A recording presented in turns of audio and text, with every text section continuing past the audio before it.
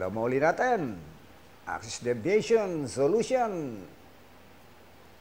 Yun. Tikit talaga, nagkatalo.